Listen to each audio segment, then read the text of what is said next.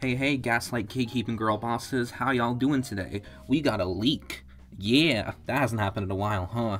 So, I am gonna give credit to the people that didn't read it. This is all them, not me. I'm just reporting it, so I'm not doing that much work. They deserve all the flowers for this. Now, we did get these, um, this tome that was added as a sprite only into the game. Um, it is, um, a Gronnvulture tome, uh, which is the green Vulture tome, which those are the Plegian weapons, I do so believe correctly.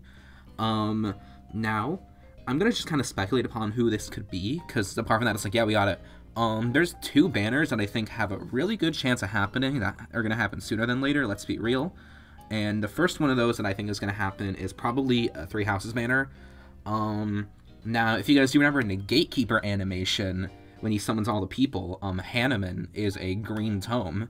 And no offense, Hanneman fans, but he's not exactly five star material or at least a five star perfect. He might just be like an old man demo, like um, Niime or something. But he's not the star of the banner. Let's not kid ourselves with like I don't know, Ascended Byleth, Rhea Manuela, um, another Hanneman, and then Demo. Let's say Alois or Cyril. I can see that happening. It's been a while since we got a three houses banner, which is weird because last year we got a three houses banner about every seven minutes.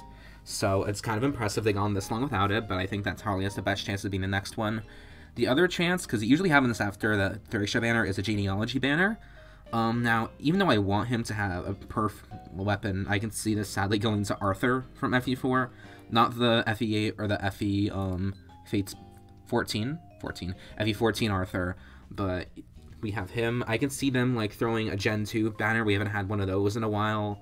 Um, add in some, like, Failing Horizontal, put Arthur, put Tinny, put Fee, because he kind of recruits with her, then I don't know, Ascended Ishtar. Let's have Ascended Ishtar because she's pretty popular. And um, Hilda, not Fate, not not Fate Hilda, not Three Houses Hilda, like old evil complete bitch Hilda. That's all the speculation I kind of have for this. Just make a little update video just for funsies, you know. Um, but yeah, if you like this, leave a like and a comment. If not, well, not my problem. Alright, bye everyone.